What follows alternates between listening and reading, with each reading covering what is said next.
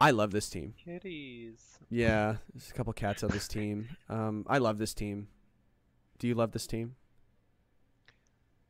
Hmm. Love's a strong word. Well, there are two cats, so I'm happy. Uh, Diggersby and I go way back. Diggersby though. Uh, sorry, I had to. I'm sorry. well, if you didn't, I was going to. So there's that. yeah. Uh, I think I was even maybe the one who introduced it to you. I, I, I actually saw it in a Fevsy video. Um, Oh. I think it was in the Hmm. WBE, and every single time he brought it, no, he wasn't in the WBE. He was in the W. Uh, sorry, the um X9, right? I think he was an X9. One or the other. I could be wrong, and I, I don't think it really matters in the end. But Yeah, I, he was definitely an X9 because I was harping on him about Archeops like every single week. And he finally brought Archeops, and I was like, "See, I told you." It's it's actually amazing. It, it's its defeatist ability definitely makes it one of the things people don't want it for. But Yeah. what if you Dynamax it and you kill things before it kills you? 145 is a big Right. number. um, yeah. and I think it's And they- 120 or 115 on the speed or 112. Actually, it might be 112. 110. 110. Okay, there's Yeah. that. Airstream. Ma- Yeah, make- exactly, makes it better. Uh, okay, so um, for this team, uh, what there is to love, um, there's a bit of bulky offense. Uh, okay, in a non-Dynamax format, without the Gen 8 power creep, um, you can live a lot with the. Um, oh my God, Kickbird. Blaziken. There we go. um, uh, Kick bird, and I- and then you got it. I love it. Yeah. um, yeah, so, something about like short circuiting my system allows it to restart. Otherwise, I just stall out. I don't know how that works, but um, yeah, Tangela has redirection, sleep powder, powerful. Um, Regidrago, I personally love to see, especially shiny. That would be, that would make me happy. Um, uh, Aerodactyl has one of my favorite abilities, Unnerve. You Mhm. don't want to run Unnerve one week. Persian has Unnerve, and I oop. Yep.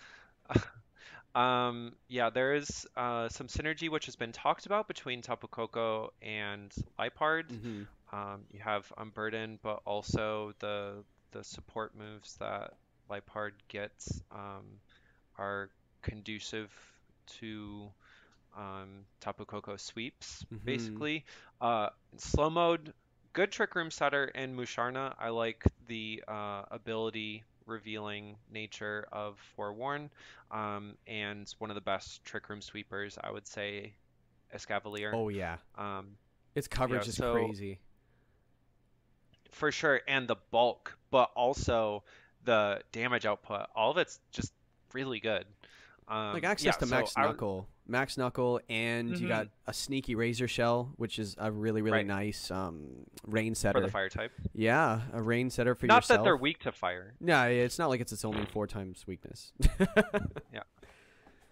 Yeah, I, I love this team too. Everything you're saying is just kind of taking the words right out of my mouth. I think the only thing we didn't mention was Milotic, and I've- we don't really need to introduce that thing. Um, i think i said milotic and then that was it which all isn't really need. saying anything that's all you need is like Milotic.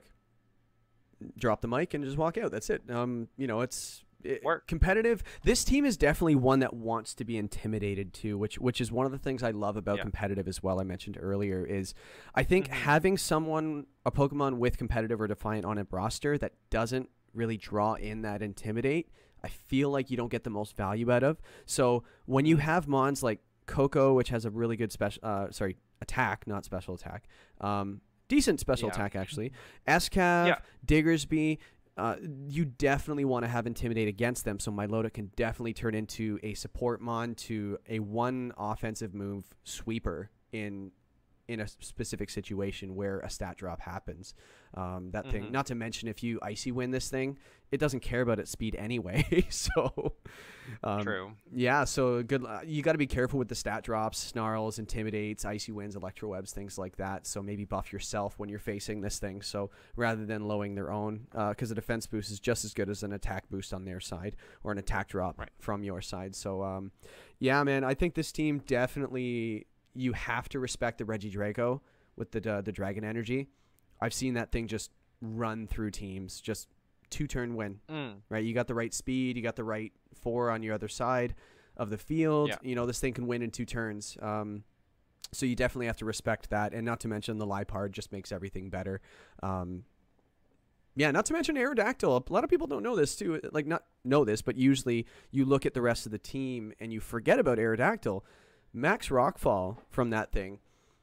It it doesn't just do damage from from stab damage. Like its attack is, is good. I think it's 100. Uh, I think it's 100 105. I think it's 105. 105. Um yeah. I, boosting your special defense after the attack with 130 base speed is it's almost like you're gaining an assault vest every turn. You know what I mean? Like, and you have another. You could have a life orb on it, and then you get your your sand up, and now your special defense is an extra 50% higher, right? So that's I think that thing could be very very sneaky good on this team. So especially with the synergy with um, um a stab earthquake from Diggersby could be really cool. Um, airstream next to it, Back it gets that airstream. yeah, max airstream and then earthquake off, right? With huge power. Um, very very cool. Um, is is there any move that you think this team might benefit from? Okay, uh, because of the synergy talked about between Liepard, Tapu Koko, like, mm, my hands being a bit forced here, I'm seeing a, uh, a lot of similarities between Persian and Liepard. They're 10 points of speed apart, neither of them. Well, I mean, Liepard has 90 attack, uh, but like, yeah, they they both um, fit more of like a fast fake out support role overall. So like I feel like one of them could go to give uh, another option to the team, um, just to make it even more dynamic. But um, yeah, I mean, I'm not gonna sit here and say Persian needs to go, Persian sucks because uh, I won with Persian, so uh, I I love Persian. But um, yeah, if the synergy between Liepard and Tapu Koko is that good, and uh, Persian and Liepard are really filling that similar role, I can see um, for the long-term success of the team um, dropping one or the other. But because of that synergy, if it's Persian, like I understand. But I think it's okay to keep Persian to let Liepard go. Personally, um, the question is then, what are you picking up? Because you are losing Prankster, Unburden. Yeah, I think uh, he loves it too. I think so. like that's another thing. I think that's the main core he Mm. wanted. So, um, yeah, Is that why Persian came too? Second, second Liepard. yeah, he wanted two of them. Can't have enough. But uh, you also mentioned the overlap in unnerve as well with the uh, what's called the unnerve ability with Persian and the Aerodactyl as well. So yeah, I Yeah. do see some overlap as well. So um, what? Well, it's really good if you want, if you need another ability, but you need Unnerve have that backup. yeah, and you could you don't have to run unnerve on one of them. You could run the other one. So it's you could definitely go with Mhm. something like that. So uh, it can stay. It can stay. But I think if you if we had to make a move, I don't think this team needs one. It's also very solid. Um, Right. That would probably be the one to go for me. What what to pick up? I think maybe just a special attacker if you had to pick something. You know, I think this team has enough Mhm. special attack for success. Um, but I think that if you if you added one more, I don't even care what mode it is, slow or fast, maybe pref- preferably slow, because Musharna doesn't quite hold its own um, on an offensive standpoint. Um, so Right. so I think that this thing could def uh, this you know that one move can definitely benefit from a special attacker on the slow side. But does it need it? Mhm. Absolutely not. I think this thing just wrecks No. this team wrecks face.